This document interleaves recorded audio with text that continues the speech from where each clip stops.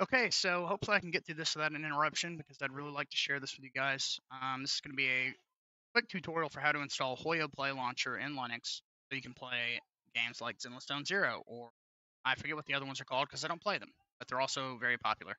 Um, I really like ZZZ. It's a great game. Um, for a free-to-play game, I think it's pretty amazing.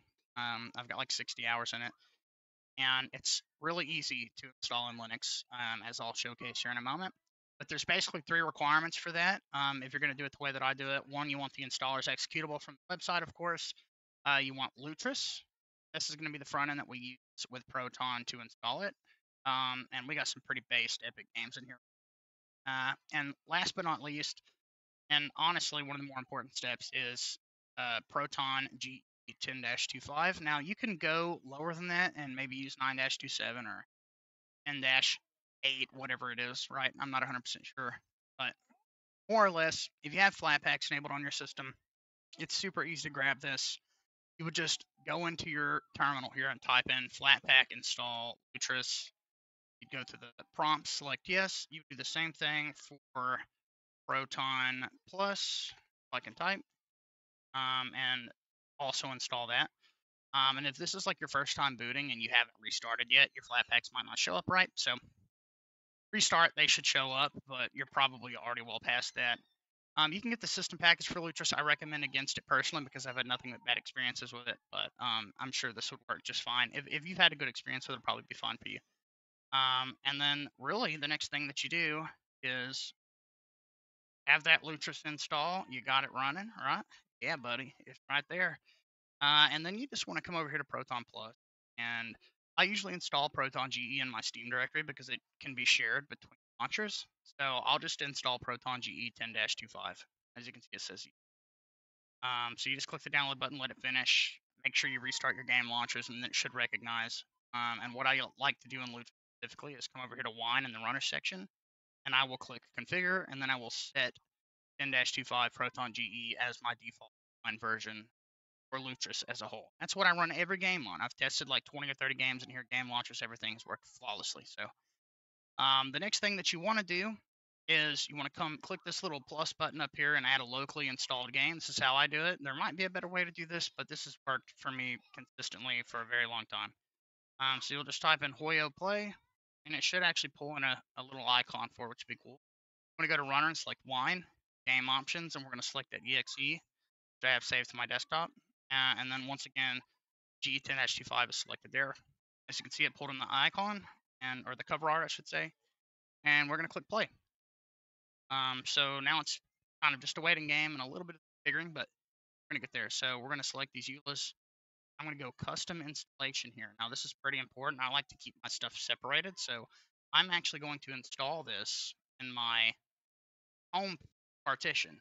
So I've got a games folder here that Heroic created. I've got my stuff separated. So heroic, this is for games. The prefixes are for that. And then I've got the same thing for Lutris, except Lutris's prefix is. So couldn't find a way to specify that in the app, but you know, whatever. So I'm going to select this folder, uh, click OK, I'm going to click continue and install. Installation complete. Please enjoy. Finish the launch. I will.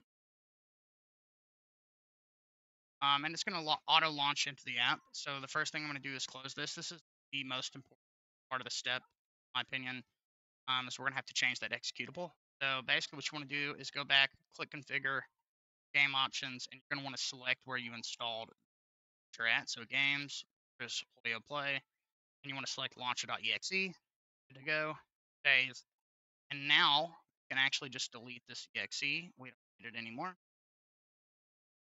And you can do the same thing with other launchers, battle.net, EA app, uh, you know, whatever Ubisoft Connect.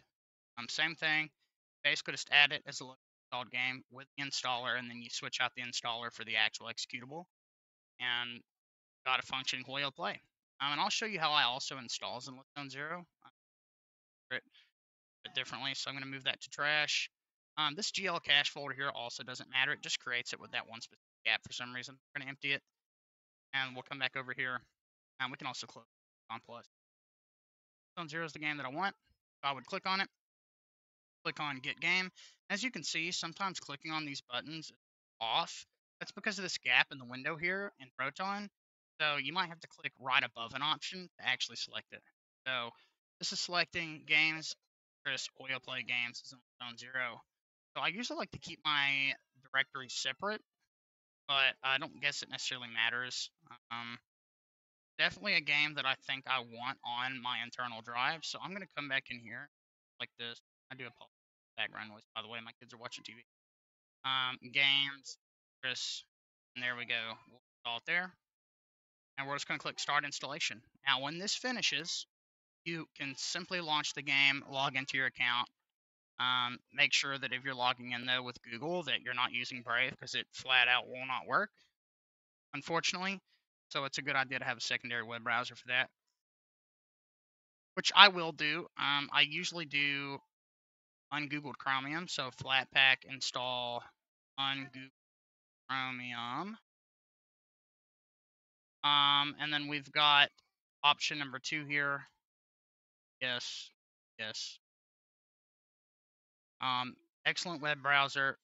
Most of the things you love about Chrome um, but more functional in the sense that it's not blocking certain web pages, whatever functionality Brave has, ad blocker, you know, so on and so forth. So I have that, um, and that's what I'm going to use. So I'll have to switch my browser preference in my settings of KDE Alt app to ungoogled Chromium when I do that to get it to open in there.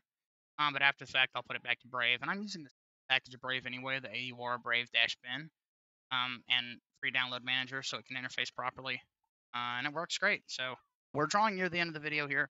Um, I will come back with an actual video on playing it, and I'll kind of pre-cover some of this. And we're also going to do tutorials for other launchers and games at some point, like Battle.net, because I do have me some RTS games on there that I like to play. Warcraft 3, the shitty edition, Reforged. Uh, but StarCraft is pretty cool. I like that quite a bit. But hope you found it informative. Hopefully it helped you. Enjoy Zenless Zone Zero in Linux If you have any issues or any questions, be sure to comment down in the video uh, below. Uh, that made no sense. Be sure to comment below the video title. Um, and if you ended up liking this and you want to click the nice shiny buttons for the video title, that would also be pretty cool. Um, and last but not least, we do have a channel Discord with almost 200 people in it, so I'd like to hit 200 before Christmas, and we're almost to 1,000 subs, and I really appreciate all of you for that. It's made a massive difference in my life. It's been amazing. So Thank you for that. There's also ways to support the channel if you ever want to through Ko-Fi, Cash App, and PayPal.